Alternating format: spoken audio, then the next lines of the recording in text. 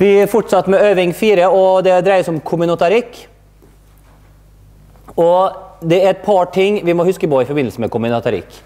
Det er en formelen vi bruker i kombinatorikk, som gir sammenhengen mellom telling og sannsynlighet. Det er hvilken formel?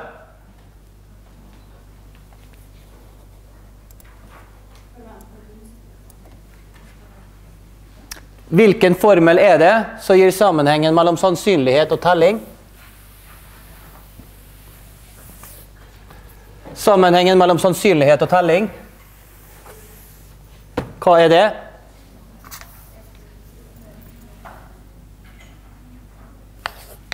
Sammenheng.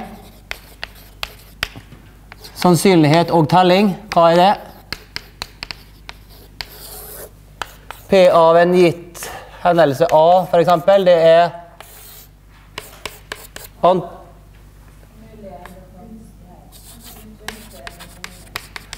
Gunstige delt på antall mulige. Det er kort versjonformelen. Og da blir det sånn som det står der. Og da må vi bare finne ut om det er situasjon 1, 2, 3 eller 4. Og så setter vi inn i toppetasjen. Og så satte vi inn i kjelleren. Og hvis vi ser på en av oppgavene, f.eks. Ja, skal vi se, jeg tror jeg skal ta litt seinere her. Eh, skal vi se.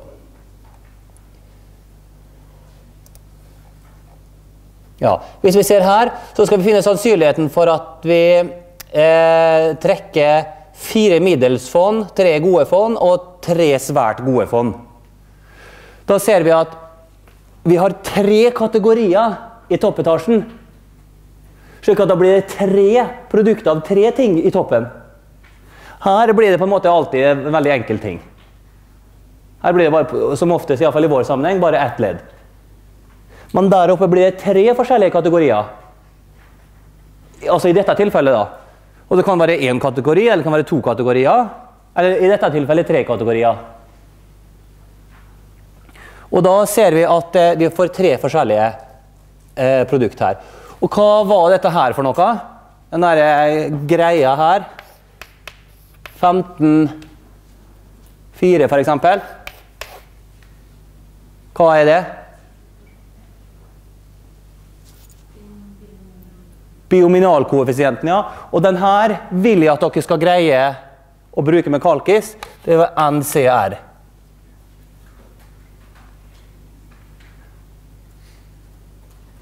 Så om vi skal regne ut det der og finne at det er 10 minus sjette, så må vi sette inn dette i kalkisen. Så jeg håper at dere kan å bruke NCR, eller hva det var. Og i dette tilfellet så er det her 15, og så C knappen. Og så fire. Og så trykker vi på execute. EXE står for execute. Utfør.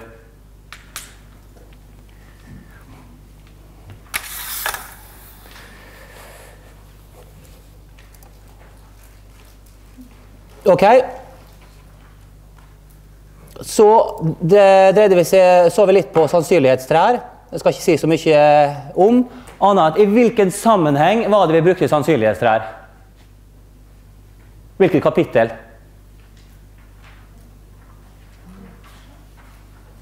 Kapittel nummer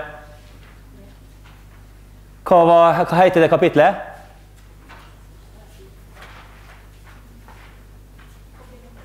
Nei, det var ikke i forbindelse med kommunotarikk. vi brukte sannsynlighetstrær. Betinga sannsynlighet, ja. Altså når vi vet ting gitt at. Og da, i forbindelse med betinga sannsynlighet, så bruker vi sannsynlighetstrær.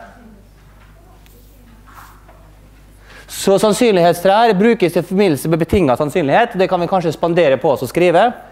Og hvor står det hen, da? I i eh, formelsamlinga.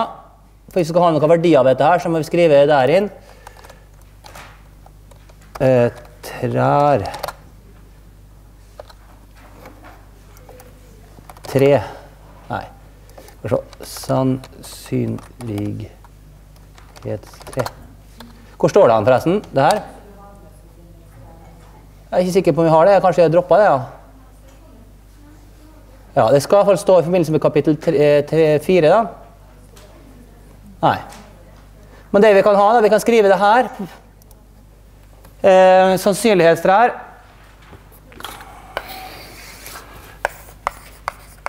Sannsynlighetstre i forbindelse med Kjenner dere til den forkortelsen? IFM i forbindelse med betinga sannsynlighet.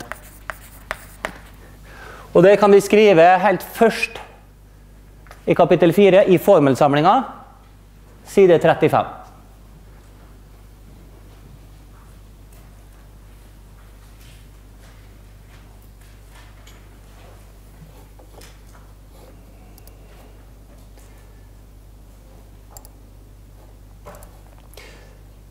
Ok?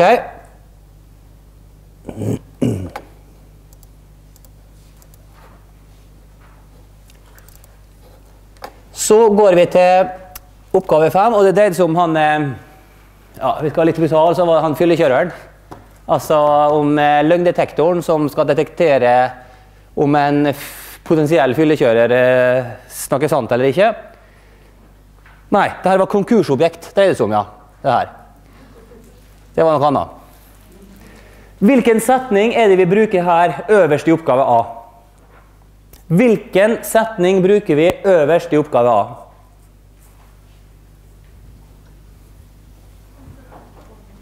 Komplimentsetninga, ja. Og komplimentsetninga den sier at hvis vi har P av noe, så er det én minus dette noe not. Dersom dette dreier seg om en betinga sannsynlighet, blir det som står for til høyre for gitt-at-streken, berørt i forbindelse med komplementsetninga? Nei. Så det vi kan skrive, at komplementsetninga er det samme som P av A gitt B, er det samme som 1 minus P av A not gitt B. Er dere enige i at det er det som står der? Skal vi ta og gå på hvilken side i formelsamlinga? 28. Og hvor foreslår dere at vi skal skvise inn det her hen? Og da må Jens spørre får dere plass til dette. Skriv dette her inn der på side 28. Side 28. Skvis dette inn der, for dette er viktig.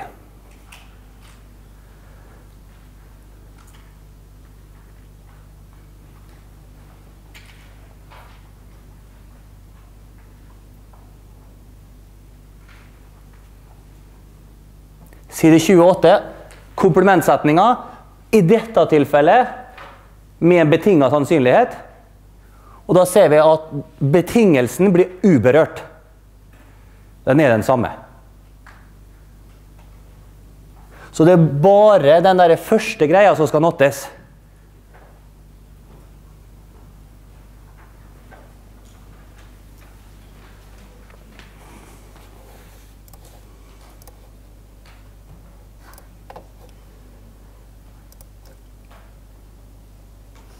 Ok. Og her skal vi igjen bruke en annen setning. Som er, vi ser at vi kjenner en betinga og en ubetinga og en betinga og ubetinga. Og hva gjør vi her? Hvilken setning bruker vi her? Oppsplitting av sannsynlighet, det er helt rett. Og hvor står den hen? Hvilken side? Ja, det stemmer. Den, den står her.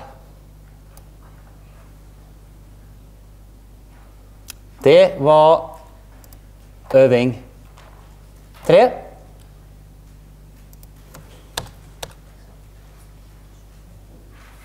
Så går vi på øving fire.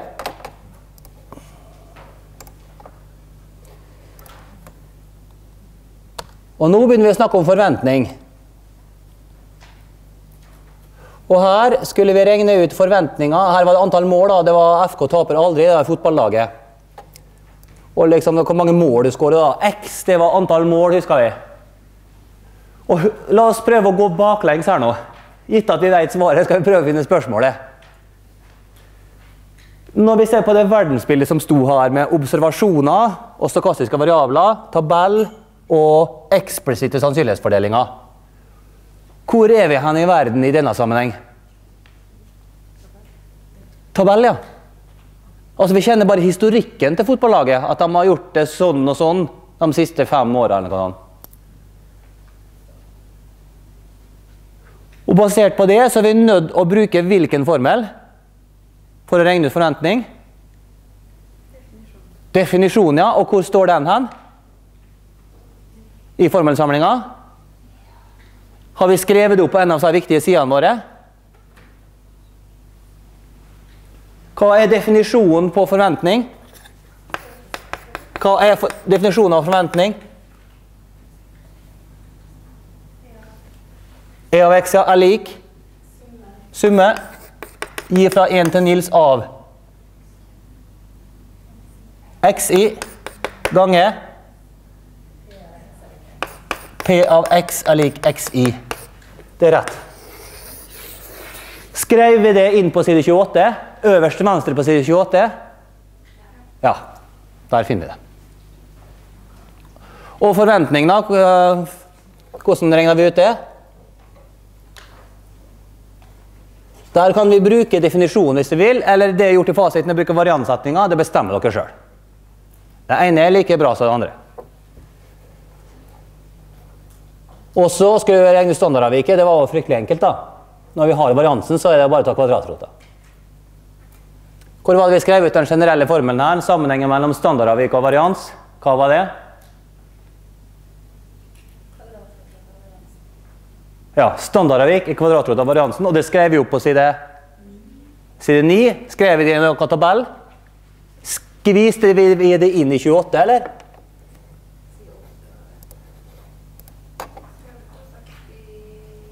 «62 kanskje vi gjorde, ja. Ja, det kan hende vi gjorde. Der skrev vi det inn, ja. At vi skrev at generelt så gjelder at STD-avvik Eller la oss ja, da kan vi si helt generelt. STD-avvik eller kvadratrot av varians. Det skrev vi på side 62. Bra.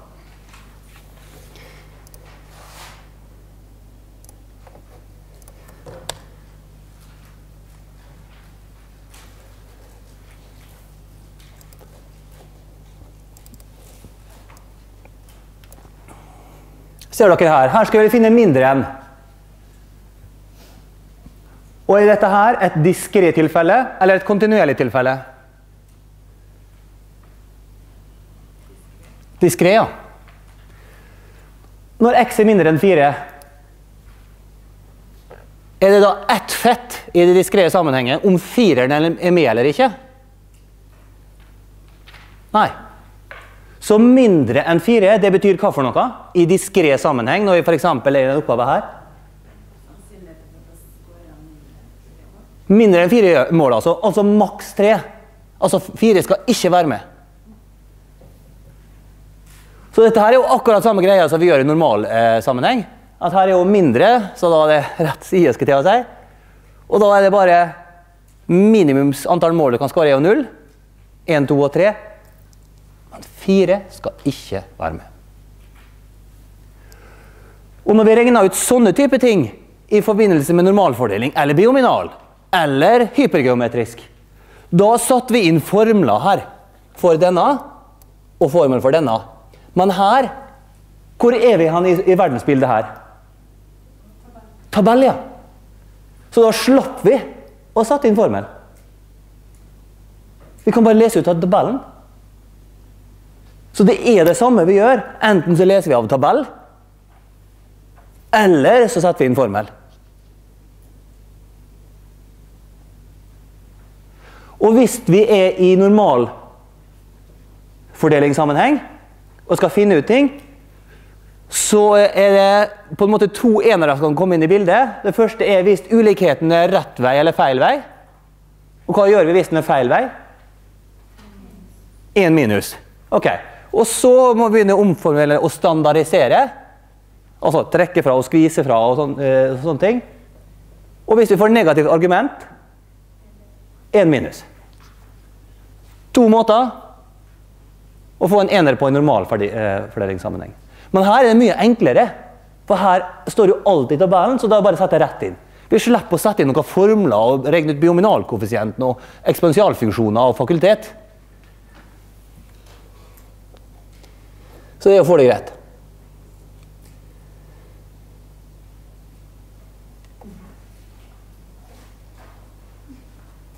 Ja, her òg skal vi se litt på det her med kommunotarikk. Nå er vi tilbake i kapittel 3.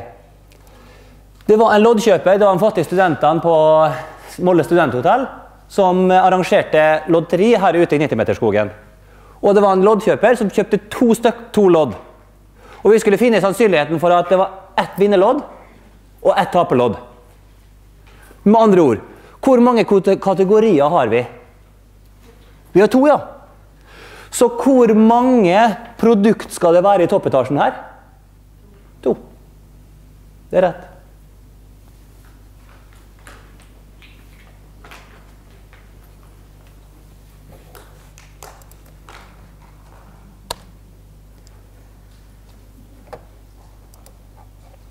Så er det noe som eh, vi er nødt til å se,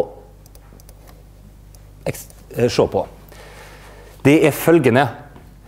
Vi har en stokastisk variabel f som er det samme som g ganger x minus s ganger c. Er det noen som husker hva det der var? F står for i forbindelse med loddkjøperen. Nei, ja, loddkjøperen, ja. Nei, det her er, han som, det her er fortjenesten til han som han studenten. er det. Så dette her var fortjeneste. Husker dere det? F for fortjeneste, og G er Nei, søren er det ikke. Det er fortjenesten til det er fortjenesten til loddkjøperen, for G er gevinst. Og X er antall vinnerlodd. Og S er det antall lodd som du kjøper. For, eh, du kjøpte to lodd. Og C står for kost. Det var kostnaden. Jeg tror det var ti kroner. Var ikke det? Var ikke 10 kroner loddet? Og hvis du kjøper to lodd, så har du 20 kroner i kostnad. Kostnaden. Og gevinsten da var ikke 250 kroner eller noe? G er gevinst. Jeg tror det er et eller annet sånt. Og X er antall vinnerlodd. Så da blir fortjenesten gevinsten ganger antall vinnerlodd minus kostnad. Enig? Inntekt minus kostnad. Men hvis vi skal finne forventa fortjeneste, hva gjør vi da? Ikke riktig ennå. Ikke riktig ennå med definisjonen. Ikke riktig ennå med definisjonen.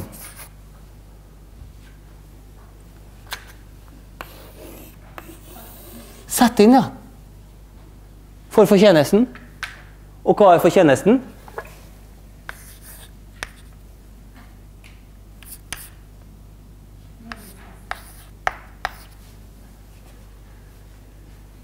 Dette der er en konstant eller stokastisk variabel.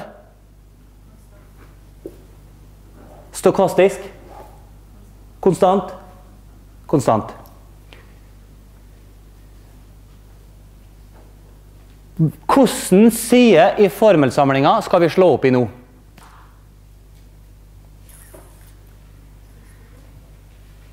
Det er foreslått 62. La oss se på 62, om det er rett. Det er foreslått side 62 for å løse en oppgave der, og sånn ser 62 ut. Og hvilken formel vil du bruke?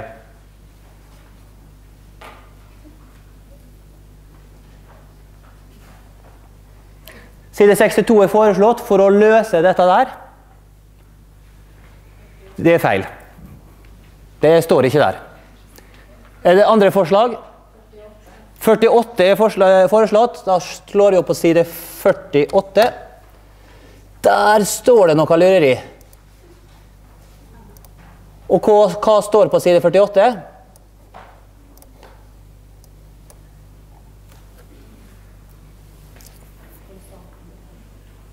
Kan sette konstanten utafor, ja. Hva blir det her?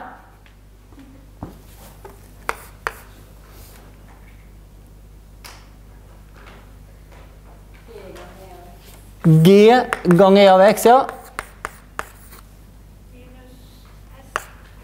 Ja. Det er rett. Ser dere at vi kan ha følgende huskeregel? Den operatoren, om du vil, er Hva er det bare den virker på? Hva er det som bare har effekt på den? Så det som står her, har bare effekt på stokastiske variabler. Så den karen her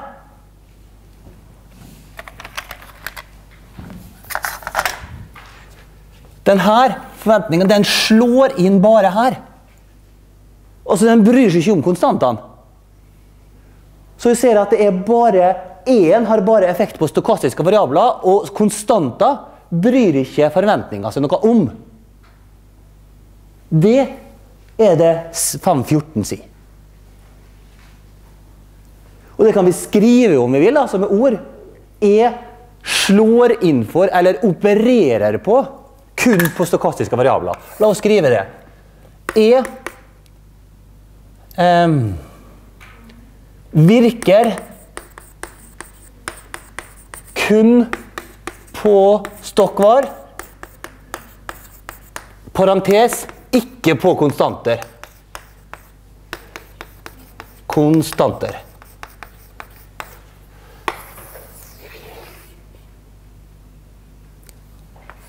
Så det der kan dere skrive inn på side 48. Skriv det der inn i ei snakkeboble eller noe på side 48. Dette er ekstremt viktig. Jeg har ikke laga eksamen ennå, men tro meg, dette er hot, altså. Dette er hot.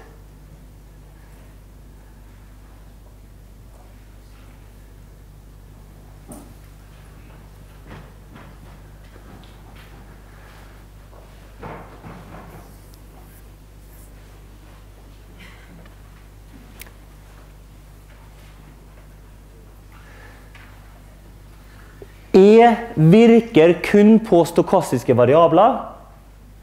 Den virker ikke på konstanter. Den bare glir gjennom smøret og bare glir utafor.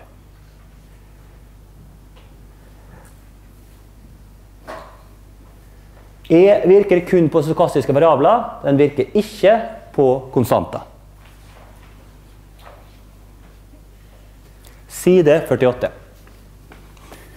Side 48 i kompendiet. Nei, i formelsamlinga.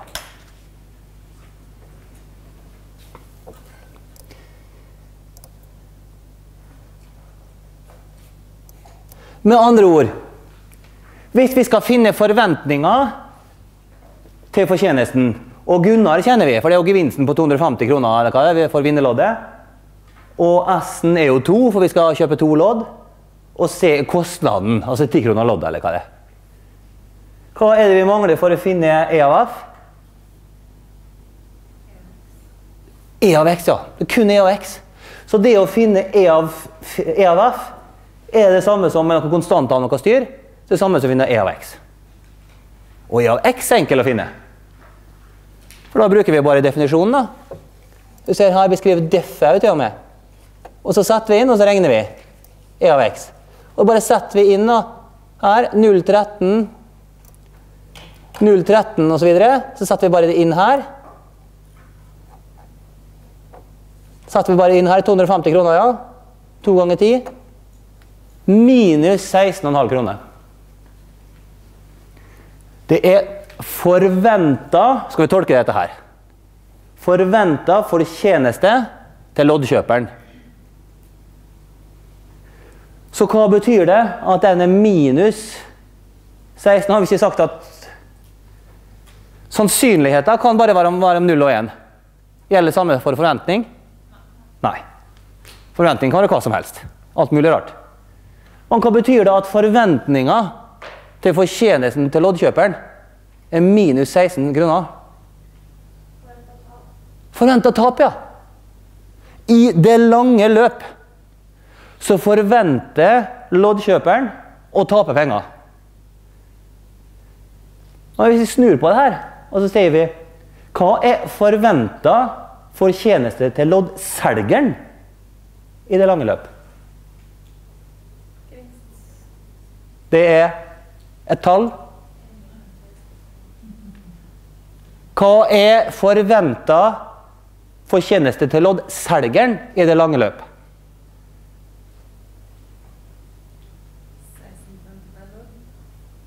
Ikke per lodd. Men det er 16,50 vil han i det lange løp få tjene på den type eh, loddkjøpere som kjøper to. Så vil han i det lange løp tjene 16,5. Altså det han taper, det loddselgeren loddkjøperen taper, det vil loddselgeren vinne. Så det han taper, det vinner han andre. Så enkelt er det. Den enes død er den andres brød. Så det ene taper, det vinner den andre i det lange løp.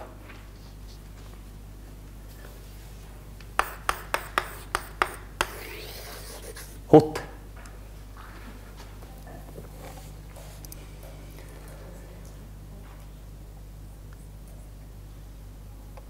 Ok. Så er det forventning og varians. Og det her var eh, den oppgava oppgaven der som dreide seg om eh, eh dreide seg om logistikkfirma som hadde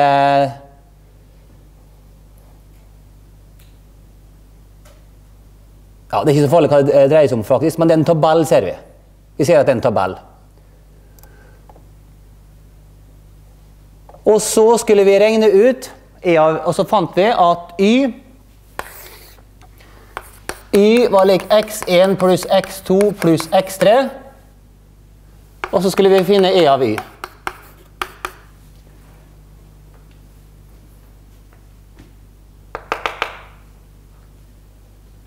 Hva gjør vi nå? Ja. Gjør vi, ja. Vi setter inn for y. Da blir det E av. Sett inn bare for den der. Og hva, hva er Y? Man må ikke glemme E-en. Den må være, Operatoren må være hele tida, for dette gjelder. X1 pluss X2 pluss X3. Hva skjer nå?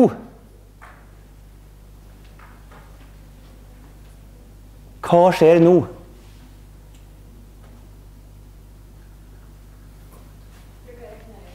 Ja, hvordan regneregel da? Si det. Ja. Vet jeg står og vurderer. Vi skrev opp her de viktige sidene.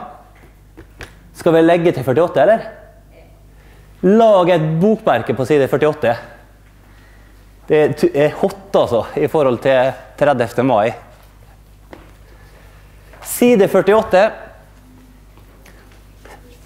Side 48. 48. Bokmerke.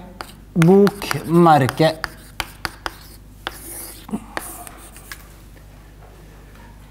Lag et bokmerke på side 48.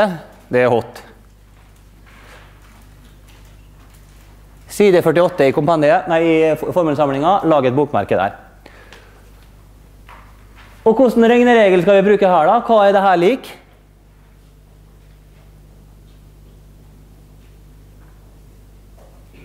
Hva som står her?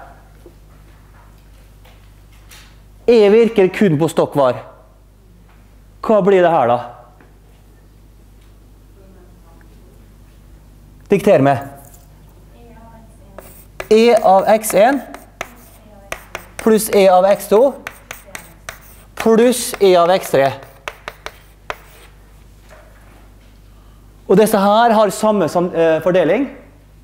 Alle tre har samme fordeling. Med andre ord, det her er samme som 3 ganger e av x. Så det å finne e av y, forvent forventning av y, det er det samme som å finne Bare finne e av x, så ganger vi den med 3. Og det er jo greit å finne e av x. Det er jo plankekjøring, er det ikke det? For det er jo helt vanlige greier. Sett inn i formel, definisjon, og så blir det 25,25. Nei, 22,25. Og så ganger vi med 3, og så får vi 66,75.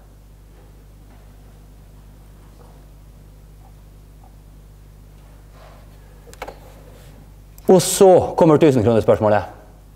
Så skal vi gjøre det samme for varians. Når gjelder dette her? Alltid bra. Uansett eller alltid. Dette er alltid. Men vi skal gjøre det samme for varians. da, Hva da? Har vi en formel for det? Står den på side 48? Ja, vi har skrevet den inn, ja. Bra. Derfor er det viktig å bokmerke 48. Og hva er det vi har skrevet inn på side 48? At varav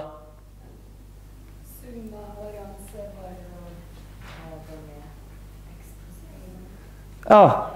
Men hva må vi anta? For, får vi ikke et ekstraledd òg, da? Ja, om de er uavhengige eller, eller, ikke. Slik at hvis de er uavhengige, noe vi har antatt her, så slipper korrelasjonsleddet, og da blir det bare én i andre. For det står egentlig en ener her, sant? Enig? Så står egentlig en ener her, så blir én i andre, én i andre og én i andre. Og så er de uavhengige, og da glemmer vi korrelasjonsleddet. Og da blir det faktisk det samme i variasjonssammenheng, men det er ikke opplagt, og det gjelder ikke alltid.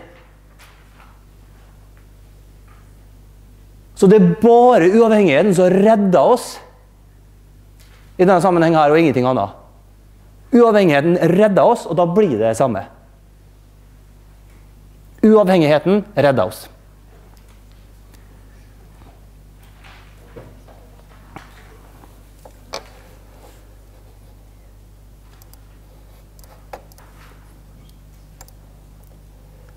Øving 7.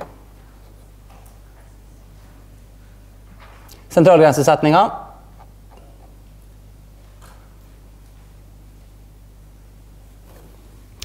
Vi skal regne ut forventning til gjennomsnittet. Vi skal regne ut forventning til gjennomsnittet. Hvordan gjør vi det?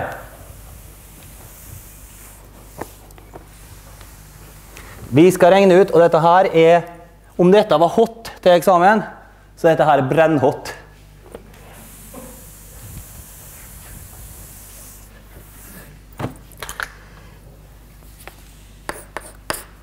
Hvis, vi skal ta gjennomsnittet av en stokastisk variabel, og vi har nils antall variabler, hva er det per definisjon? 1 over n av x1 pluss x2 pluss x nils. Og dette er stokastiske variabler. da. Nå skal vi ta forvent forventning av gjennomsnittet av stokastiske variabler. Dette er ikke et vanlig gjennomsnitt, det vi hadde kapittel 1, for det var bare gjennomsnitt av observasjoner. Dette er gjennomsnitt av stokastiske variabler. Så her kan vi skrive stokk var bak. Og CLT, Central Limit Teorien, det gjelder for stokastiske variabler. Nå er vi langt inn i 2B-verden. Eller to, iallfall toerverden, da, der eh, vi snakker om stokastiske variabler. Hva gjør vi nå? Hva er neste steg?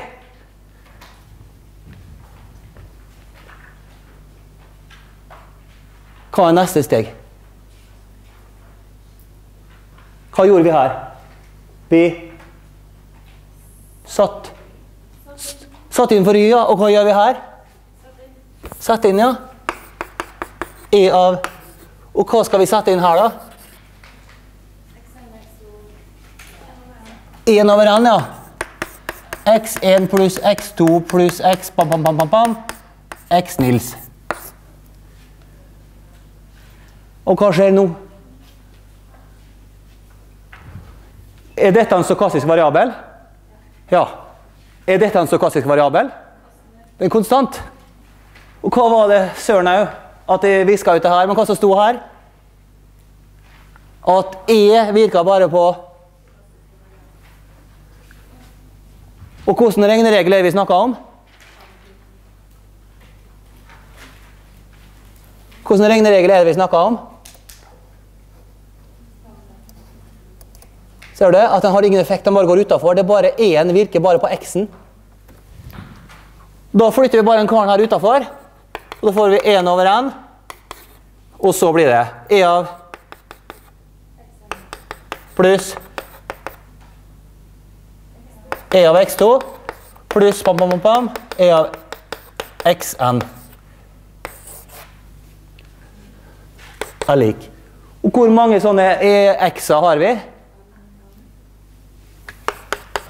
Nils antall. Og de har samme fordeling.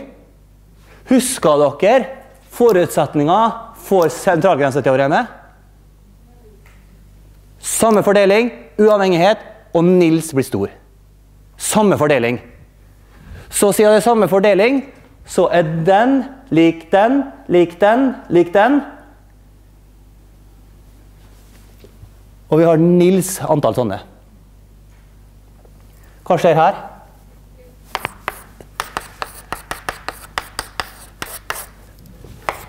Så tyngdepunktet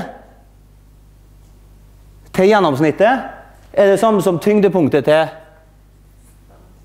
til starten, det vi starta med.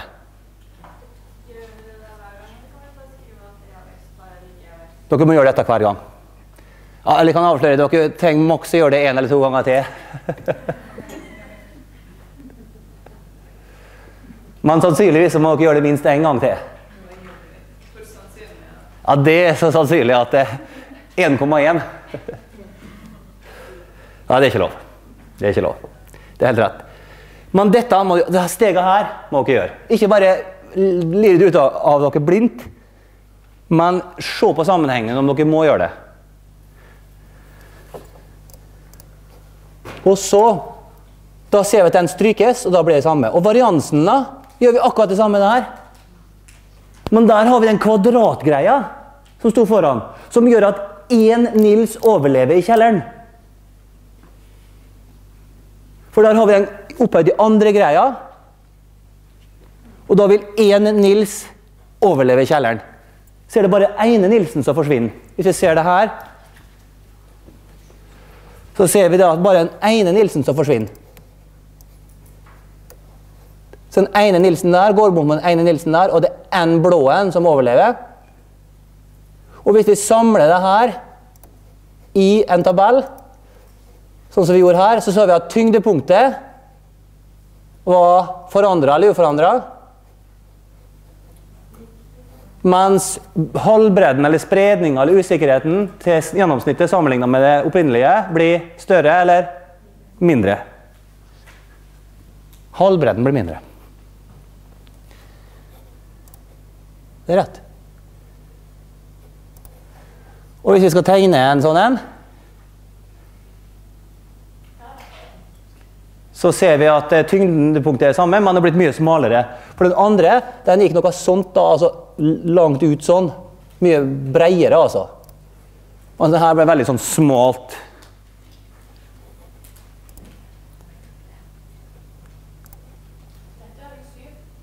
Ta øving sju.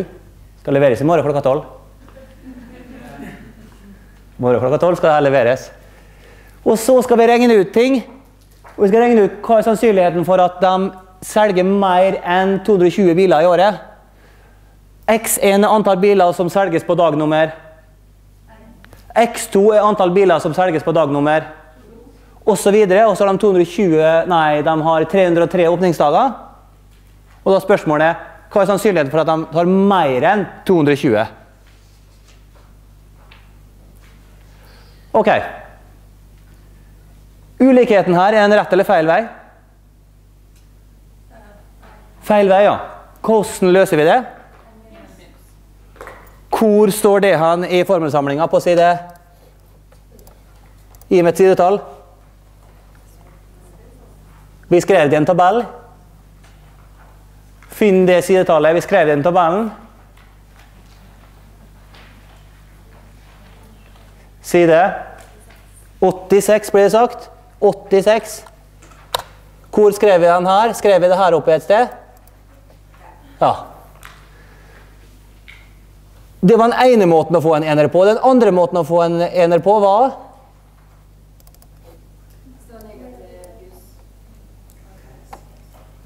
Ja. Hvis vi ser her Der får vi minus 0,47. Den ene andre måten, hva gjør vi da? Når vi får negativt inni etter vi har standardisert En minus Gauss. Altså en minus det positive argumentet. Så vi har to enere som kommer inn i bildet. Og hva skjer med disse enerne der? Ja, Den ene eneren bare ikke bestandig skjer. Av og til så legges de sammen, avhengig av fortegn og sånne ting. Men i det tilfellet her, så den ene eneren slår i hjel den andre. For det er to måter å få på en måte ekstra enere på. Og her slo begge inn, og de har motsatt fortegn. De tar livet av hverandre.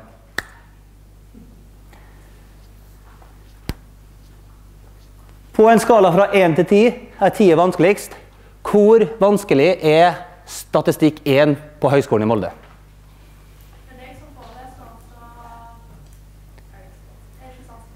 Det var ikke så vanskelig. Hvor artig har det vært, da? På en skala fra 1 til 10, der 10 er artigst, og 1 er bare pyton. Det var null, ja. Åtte? Ja, det er, det er jeg fornøyd med. Det er jeg fornøyd med.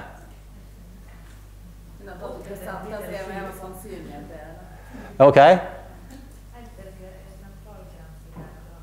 Sentralgrenseteorem, det var vanskelig? Ok, Så sentralgrenseteorem er vanskelig? Ja. Jeg har et forslag til dere. Det ligger to eksamener ute på Himolde X, eller Fronter, da, som jeg har laga de to siste åra. Hovedeksamen og KONT. Det ligger komplett løsningsforslag på begge de eksamensoppgavene. Regn gjennom dem før eksamen. Regn også gjennom øvingene på eksamen.